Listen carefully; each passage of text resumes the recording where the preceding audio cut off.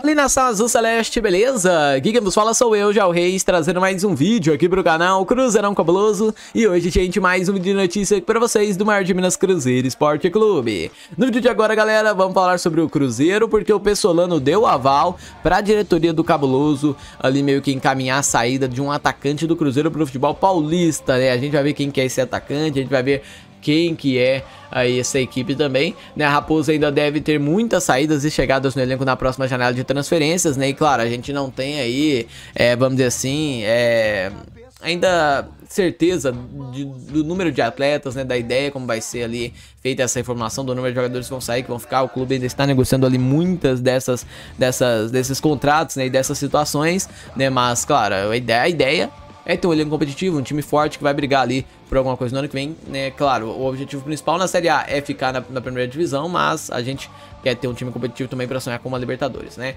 Galera, antes de continuarmos aqui, eu quero pedir para você deixar o like se gostasse, se não foi inscrito no canal e é novo por aqui, se inscreve, ativa o sininho, compartilha o vídeo com seus amigos e deixe nos comentários a sua opinião. E galera, antes de continuarmos aqui, cola no XBet, uma empresa de apostas do mundo, odds mais altas do mercado aí para você faturar, links no comentário fixado e é só entrar no navegador ou baixar o app no seu smartphone e aí coloca o nosso cupom cabuloso para ganhar bônus vantagens na hora de apostar e fazer sua graninha, beleza? Então galera, vamos falar sobre o cabuloso porque o Cruzeiro Cruzeiro irá passar por uma grande reformulação na virada da temporada. Muitos jogadores devem deixar o elenco, pois existe uma expectativa de que reforços cheguem ao time mineiro para fortalecer o plantel da Raposa, visando a disputa da Série A do Campeonato Brasileiro. E com isso, saídas já vem sendo de, confirmadas, né? E galera, é...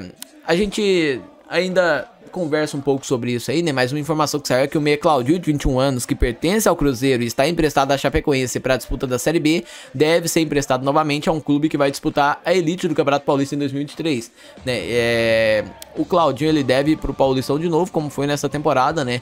Porque assim, galera, Nesse ano, ele foi emprestado pro Mirassol, se eu não me engano, né, na, no Paulista, e aí depois do Paulista ele foi pro, pra Chapecoense, né, e lá ele não conseguiu jogar tão bem e agora vai rodar mais. De acordo com informações do site torcedores.com, o atacante ele já tem seu destino definido para 2023. O jovem atacante que estava na Chape não deve seguir no time e deve se acertar com o Santo André. Ele teria recebido outras sondagens de alguns times paulistas também, mas vai ir lá, né, para pro Paulistão mesmo e vai jogar no Santo André mesmo, né? E galera, é, lá no site eles falam assim, ó.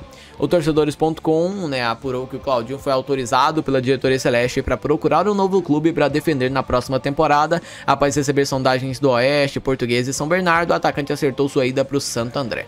Né? E galera, a Raposa termina aí sua participação na Série B contra o CSA pela última rodada da segunda divisão nacional nesse domingo. Né? E depois de três anos, o Cruzeiro conseguiu o acesso e de quebra ainda faturou o título da competição. E o time Celeste tem 75 pontos e tá tranquilinho aí né? na, na, na tabela, já subiu, já acabou o campeonato, ele tá de boa, né? E, e assim, o, a ideia do ano que vem é ter um time forte, um time competitivo também, e claro, né? Passa por essa reformulação toda. O Claudinho, mano, ele chegou com uma badalação enorme, né? Ele veio da Ferroviária como uma das promessas do futebol brasileiro, mas aqui ele não conseguiu performar e tá rodando aí.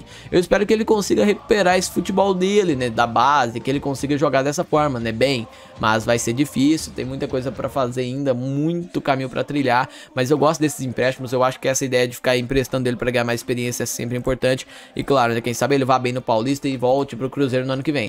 Isso aí são coisas que podem acontecer e que seria muito legal se acontecesse, porque a gente torce aqui pelo sucesso desses moleque, né?